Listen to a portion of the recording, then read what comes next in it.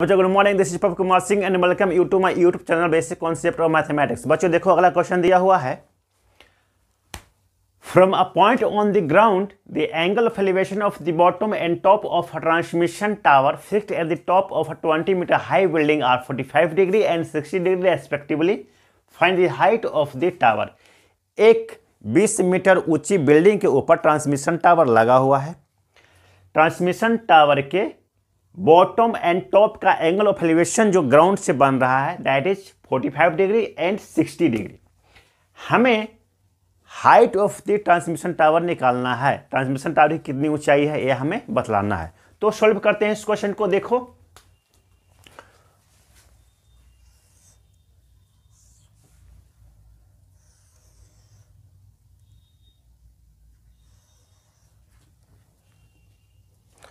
मान लिया कि A B A B this is the building जिसकी हाइट 20 मीटर है। तो लिख दो।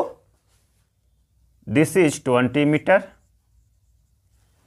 in height okay A B का हाइट 20 मीटर है। And this is D and this is C A B building के ऊपर ए डी ट्रांसमिशन टावर है। तो ए डी ट्रांसमिशन टावर की हाइट हमें पता करना है। तो मान लो एज्यूम कर लो कि ए डी का हाइट एच मीटर है। तो लिखो यहाँ पर एच वेरी गुड अब क्वेश्चन में कहा है from the bottom and top of transmission tower तो ट्रांसमिशन टावर का बॉटम ये है। यहाँ से एंगल ऑफ़ एलिवेशन जो बन रहा है ग्राउंड पे दैट इज़ 45 डिग्री तो this angle is 45 degree and from the top of the transmission tower angle of elevation is of 60 degree तो यह एंगल हो जाएगा 60 डिग्री का। ठीक है? चलो हम इस ट्रायंगल की सहायता से हम इस ट्रांसमिशन टावर की हाइट को मालूम करेंगे। देखो। In triangle A, B, C, A, B, C. चलो मैं यहाँ पे शॉर्ट में तुम्हें जानकारी दे दूँ। मैंने तो आपको समझा ही दिया है, किंतु इसे स्पष्ट लिख दूँ। कि A B is the building let A B equal to twenty meter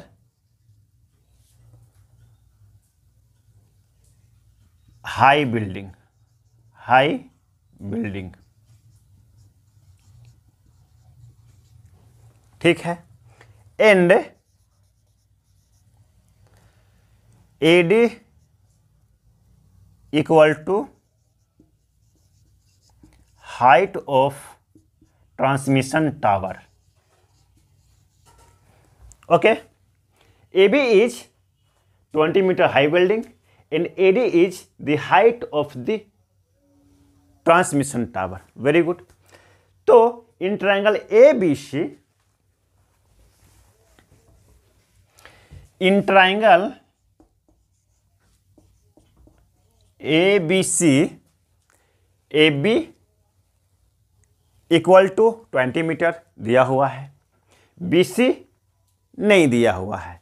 हम टेन फोर्टी फाइव यहाँ पे लगाएँगे। तो देखो क्या हो जाएगा। Tan forty five degree equal to A B by B C very good in triangle A B C tan forty five degree equal to क्या हो गया? A B by B C ठीक है। A B equal to twenty meter दिया हुआ है and tan forty five का value of course you know one होता है तो tan forty five equal to one हो गया। A B equal to twenty meter दिया हुआ है। बी सी को एज इट इज़ रखो। जब क्रॉस मल्टीप्लाई करोगे तो B C equal to twenty meter हो गया। वेरी गुड अब in triangle D B C देखो। Now in triangle D B C tan sixty degree equal to tan sixty degree equal to हो जाएगा D B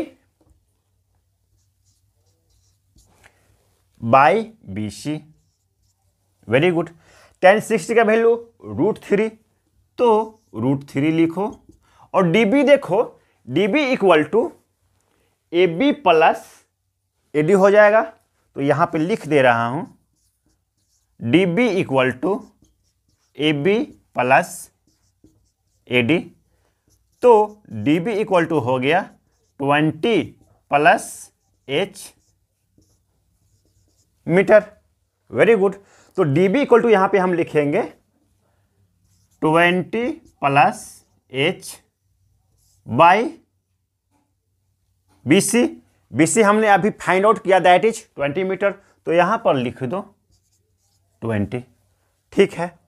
अब इसे solve करो तो ये हो जाएगा twenty root three equal to twenty plus H. Very good. तो एच इक्वल टू क्या हो जाएगा? एच इक्वल टू हो जाएगा twenty root three minus twenty. Very good. अब ट्वेंटी को कॉमन ले लो तो एच इक्वल टू हो जाएगा root three minus one meter बच्चों this is the height of the transmission tower answer उम्मीद करता हूँ कि यह क्वेश्चन आपको समझ में आ गया होगा। अब आगे बढ़ते हैं। देखो वाला क्वेश्चन दिया हुआ है। A statue 1.6 meter tall stand on the top of a pedestal from a point on the ground. The angle of elevation of the top of the statue is 60 degree and from the same point the angle of elevation of the top of pedestal is 45 degree. Find the height of the pedestal. 1.6 meter लंबा एक statue एक pedestal के ऊपर खड़ा है statue का top से ground पर किसी पॉइंट से एंगल ऑफ़ एलिवेशन जो बन रहा है दैट इज़ 60 डिग्री और पेडेस्टल के टॉप से ग्राउंड पर, उसी पॉइंट पर, जिस पॉइंट पर टॉप ऑफ़ द स्टेचू का एंगल बन रहा है, जो एंगल बन रहा है दैट इज़ 45 डिग्री हमें हाइट ऑफ़ द पेडेस्टल पता करना है। तो देखो, मान लिया कि A B and this is C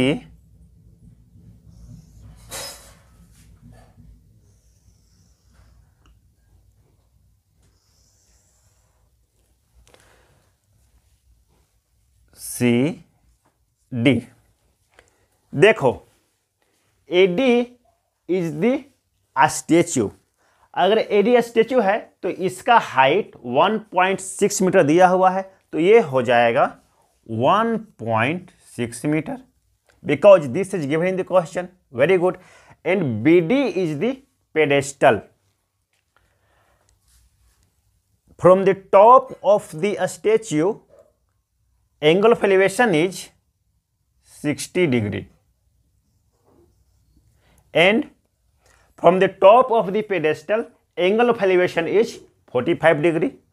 तो टॉप ऑफ़ पेडेस्टल से जो एंगल बना that is 45 degree very good अब हम एज्यूम कर लेते हैं कि height of the pedestal is 8 metre तो यहाँ पर लिख दीजिए h. वेरी गुड अब हम इस ट्रायंगल की सहायता से हम पेडेस्टल की हाइट को निकाल लेंगे। देखिए। Let A D equal to sorry A B नहीं ए डी है। Let A B A D let A D equal to one point six metre high statue है ये। And D B equal to height of pedestal very good तो A B equal to क्या हो जाएगा? A B equal to हो जाएगा A D plus D B तो A B equal to हो गया 1.6 plus H metre very good अब in triangle D B C of course this is right angle triangle in triangle D B C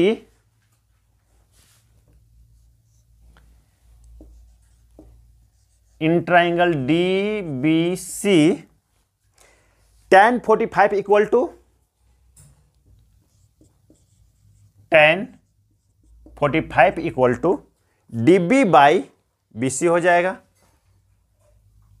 D B by B C tan forty five equal to one होता है तो one equal to D B by B C जब cross multiply करेंगे then you will get B C equal to D B यानी C और B दोनों बराबर है।